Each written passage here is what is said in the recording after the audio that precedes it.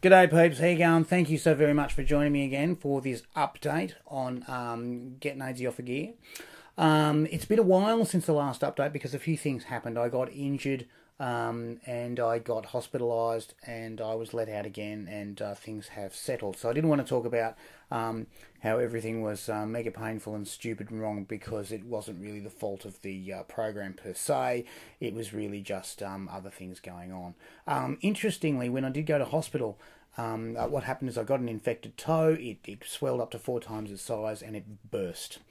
Amazingly painful. Um, you know, it's incredible to think um, it's a very, very small part of your body, and it was uh, taking up most of the attention of the uh, of the body. It was incredible. Anywho, uh, this thing happened, um, and I went into hospital, and they said, "You you need to fix this." Um, after going to the GP, and, and he said, "You got to go to the hospital." I went, "No, no, it'll be bad." And he said, "No, no, you got to do this." And um, I went in there, and um, okay, I'm going to do you solid now. I'm going to tell you what happened, right? Um, but I'm going to hold my hand up like this for the gross bit. Um, so just turn the volume down if you don't like body stuff. All right. Now I've had Fournier's gangrene, and you know what that's like. So I'm I'm warning you now. Okay. So I went in there, and they basically had to stick a uh, scalpel under my toenail, uh, cut it, uh, dig it in, and scrape out the crusted up. Um, uh, infection and then squeeze all of the gathered pus out of my toenail and the hole that it already made in my toe. That was amazingly painful. I was screaming the entire time because they buggered up the anaesthetic. Um, and because they'd buggered up the anaesthetic and it hurt a lot, basically I said, Oh, you know, I'm in a lot of pain. They said, Well, yes, you should uh, have some pain relief. And they said, Here you go. And they gave me some paracetamol. I'm going, Yeah, no and they said, yeah, yeah, because uh, effectively um, you're a junkie and uh, we don't want to give you anything for pain. I'm going, I've still got the pain though. So do you want to maybe figure it out? And so then they got the pain service in. And uh, I said, you know, um, oh, the pain service has been in. And I said, I didn't see them. And they, bloody cowardly bastards, look, stood in the corridor and said, "Oh yeah, no, don't give them anything," and ran away because they didn't want to get a mouthful from me. Cowardly bastards. Anywho, so um, the other thing that happened was that um, they buggered up the dose.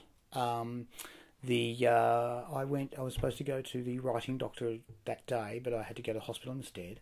And the and I rang up the writing doctor and said, "Look, I'm not there because I'm in hospital because my toes exploded."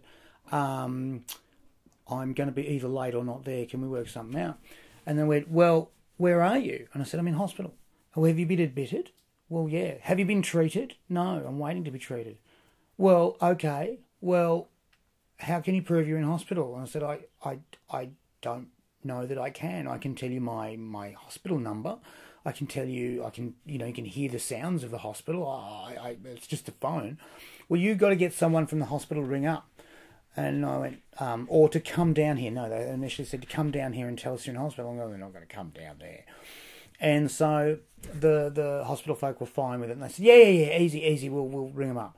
Anyway, so this woman basically rings up.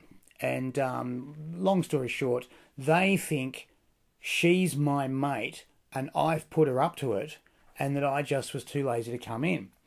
Anyway, she gets this impression and she gets really, really angry and then calls up lots and lots of people.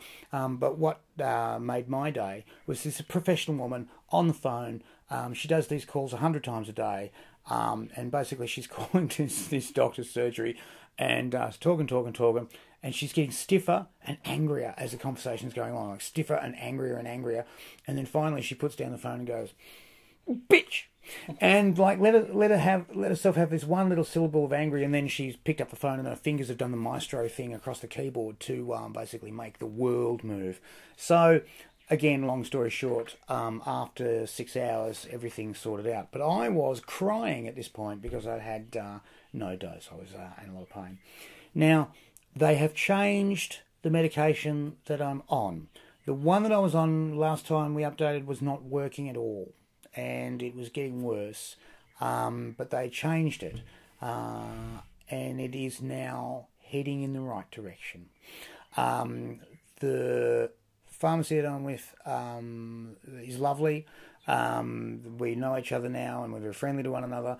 The writing doctors that I'm with, they're lovely. We know each other now and uh, we're uh, on very good terms. So things are heading in the right direction. Um, basically, I'm, I'm sticking with the program. The clock has stopped. Um, I'm not going off the program in two and a half months like I was threatening before. Um, basically, because it's it's uh, uh, it's on its way to working. Um, we're just going to bugger eyes around with the dose now and uh, see what happens. My chief fear is that we'll get it right, and then they'll turn around and say, "Righto, now time to reduce everything." And I go, "No, don't do that. That was rather the point."